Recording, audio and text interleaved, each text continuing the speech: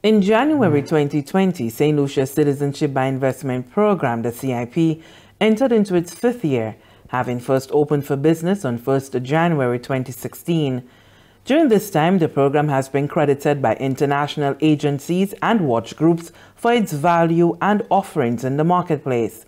And on March 30th, 2021, the annual Human Rights Report by the U.S. Department of State gave a passing grade to St. Lucia. The U.S. government report did not include the island's CIP program among that of OECS countries that were cited for lack of transparency. Chairman of the CIP board, Ryan Devaux, says the board and the CIP unit have been resolute in ensuring strong governance, accountability, a focus on very high levels of compliance and due diligence. As a result. Lucia continues to demonstrate leadership within the region. When we, when we have these interactions on security, and um, you know, I, I, get involved in some of those meetings, Nestor Alfred as well, um, you know, with the intelligence community, and we do those, you know, fairly regularly. Um, and it's an integral part to the integrity of our entire program. Um, and so I think, you know, the fact that, you know, finally it has been recognized, and so we, because I, I would say historically, you know, the region was painted with, with a broad brush. And so the fact that that distinction is being made, I think is recognition of, you know, the work and the effort we're putting in to ensure that these programs, or, you know, the program in. Lucia is well run, is, is transparent, you know, is run with integrity, etc. The CIP chairman says government's decision to introduce the legislation for the establishment of the National Economic Fund fundamentally changed the levels of accountability and transparency. The National Economic Fund is being governed by a board of directors that oversees the receipt, investment, and expenditure of the monies raised from CIP. Government has to apply to the board for use of those funds.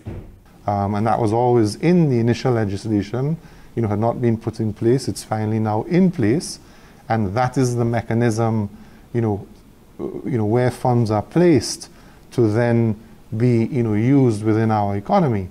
And obviously, that's been one of the big, you know, where's the CIP funds gone? Mm -hmm. um, and as I say, I mean, you know, that, you know, all of these things take time. I've learned, you know, through this process that nothing happens as quickly, perhaps, as it could in the private sector.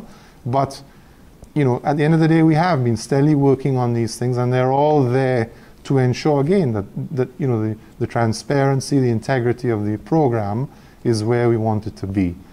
St. Lucia's Prime Minister Honorable Allen Chastanet, who has responsibility for the CIP, has been lobbying for the creation of an OECS CIP program to better solidify the gains in the sub-region.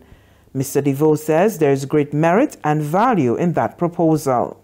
I think, you know, St. Lucia is a huge proponent of that. And again, when we drive, you know, the integrity and the transparency that we believe we've demonstrated, we've, we've you know, done here in St. Lucia, we think that's important for the region.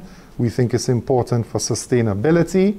Um, when you talk about, you know, due diligence and having a common standard, we fully support it. Um, our own Nestor Alfred is, is, you know, chair of the regional committee of the CEOs. And so that is an agenda that we definitely support. You know, you've seen recent traction with the ECCB mm -hmm. looking to, you know, try and facilitate some of that. For the financial year 2020-2021, March ending, St. Lucia received 415 CIP applications. 285 have been granted thus far. From the Government Information Service, Lisa Joseph reporting.